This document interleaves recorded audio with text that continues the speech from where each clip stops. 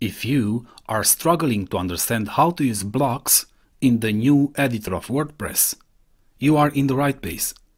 Today, I'll explain to you how it works step by step, and I will illustrate the editor's key features by walking you through what it's like to create a basic WordPress post. But you can use the same approach no matter what type of content you are creating.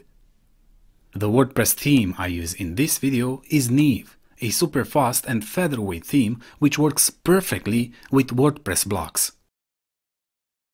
And even more, I will introduce you Otter, a WordPress plugin that comes with new feature-rich blocks to enhance your content creation experience. First of all, I'll explain what blocks are.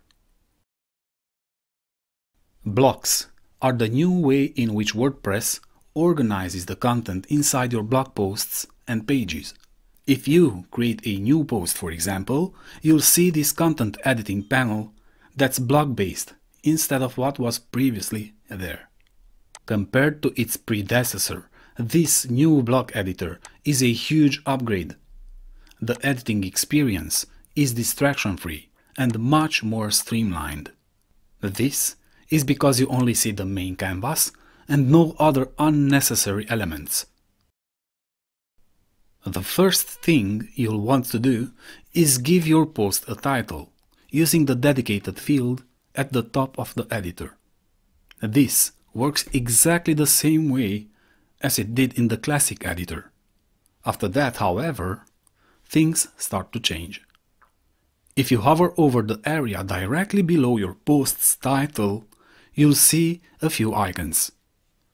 The plus icon lets you select WordPress blocks and add them to your post.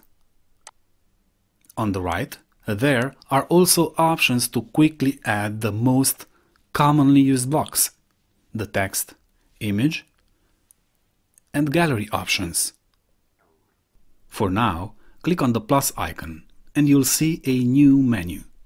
This menu lists out all the blocks that the editor currently includes. There's a section at the top with your own most used options, a number of organized categories underneath, and even a search bar to help you find what you need quickly. If you have installed the Otter plugin, you can see even more blocks here. I'll show you more details later in this video, so keep watching. To add a block to your post, you just have to find and click on it. Let's start simple with a paragraph block. Place the block in your post, then move to the next step. You can also create a paragraph block by simply typing in the editor, which is the default block actually. When you add a paragraph block, it doesn't look like much right away. However, once you begin to start typing into the field, new options will appear.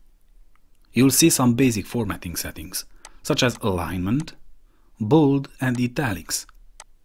In addition, check out the right-hand sidebar of the editor screen.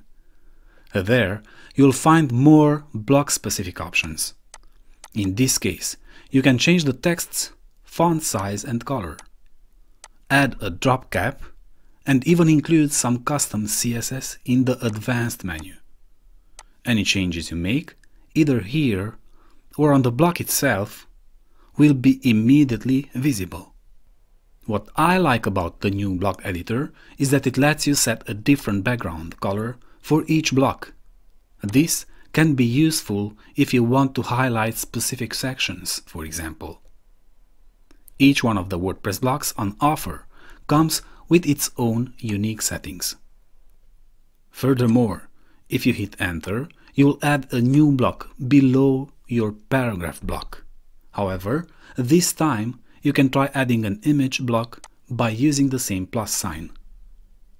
As you can see, you are able to upload an image or add one that's already in your media library. You can edit the image, alter its alignment, and so on. As an alternative to hitting the plus sign, you can type a slash in an empty block followed by the name of the block that you want to insert. Once you learn which blocks are available, this is a much faster way to add new blocks. There's no doubt that you'll use plenty of paragraph and image blocks. However, the blocks editor has more to offer. There are also a number of WordPress blocks offering new options not available in the classic editor. For instance, you can add a button block to your post. This creates a clickable button for visitors to interact with. You can edit the text of the button itself and include the URL it will link to right below.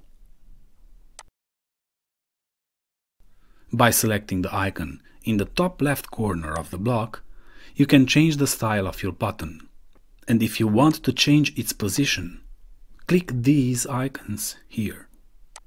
In addition, you can alter both the background and text colors in the sidebar. While this isn't a huge range of options, it's enough to create a handy customized button, which you can use to encourage visitors to sign up for an email list, buy a product, or whatever else strikes your fancy. Want to have buttons with more options? Use the button group provided by Otter, and you will be able to insert up to 5 buttons in the same group, which you can style separately using the color and border settings here. Just select the button you want to customize in this drop-down and then choose the colors and settings as needed. Let's say we want a white button with blue text and a blue border. After selecting the border color, you need to adjust its width here and its radius if you want that here. You can also change how the button looks on hover. Cool, right? I also like that these buttons have the Open in New tab option here, which is not available for now in the default button block. Further down, there are more panels where you can set box shadow for your button, which includes shadow properties and hover settings too. This is more than enough to create interactive buttons that look great and are made to boost conversions. Once you've added a few blocks, you may find yourself wanting to make some changes. Fortunately, the new blocks editor is pretty flexible in letting you modify your content's layout. If you want to delete a block, for example, you can select the options icon above it and click on Remove Block. By hovering over a block, you can use the up and down arrows to rearrange your blocks at will. Or you can also click on the six dots between the arrows to use drag and drop to move a block. The blocks editor includes a number of keyboard shortcuts that can help you quickly delete blocks or insert new blocks. Type Shift plus Alt plus H to view all the keyboard shortcuts.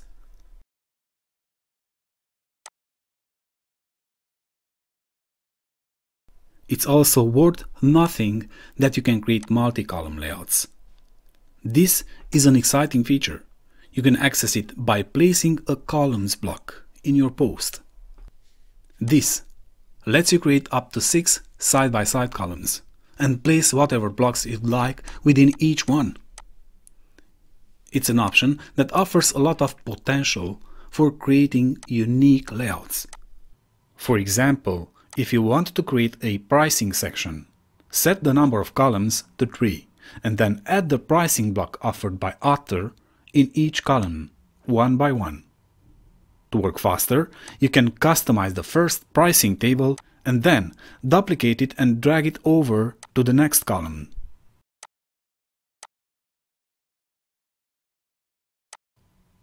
Finally, it's important to note you still have access to post-wide or page-wide settings as well.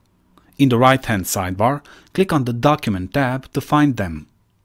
The Neve WordPress theme I have installed earlier will give you even more options here. While with the latest default theme of WordPress 2019, you have a few options. With Neve, you can also change the post settings here. The container and sidebar options will adjust the blog post structure. For example, you can choose whether your sidebar will be on the left side of your content, on the right side of it, or you can create a post with no sidebar at all. Right below these settings, you can turn off the blog post components such as the header, title, featured image and footer. Just check the box for the component you want to turn off. Then, if you want to adjust the width of your content, check this box and change this parameter here. If the sidebar is on, you can see that the width of your sidebar will adapt to the percentage you set here. One of the most powerful things about the WordPress block editor is that you can use plugins to add all kinds of new blocks. In fact, some of your favorite plugins might have already added their own blocks.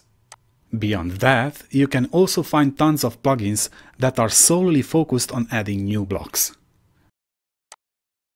The Otter Blocks plugin mentioned earlier gives you blocks for more advanced sections, where you can find a huge variety of templates to use immediately. You can filter them out by categories in this dropdown. And you can insert this template, for example, into your blog post, like so. Then you can edit the content as needed.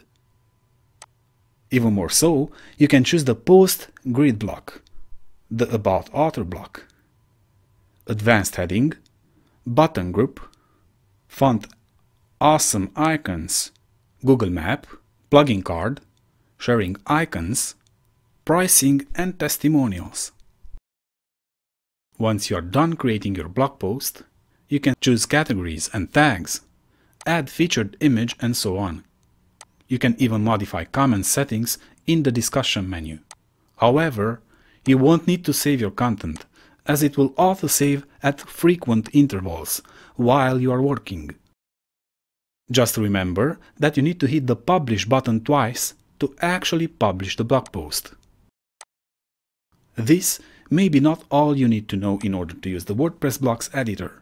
There is more to learn about it, but you'll get used to it and you will know each choice on offer after experimenting with the various blocks and available features. Are you comfortable using the new blocks editor? Do you feel like something is missing or it's not working as it should be? Let's chat about it in the comment section below. I'm just waiting to see what's in your mind. If you want to learn more about WordPress, here are some popular videos that I've published lately. Feel free to check them out. See you in the next one.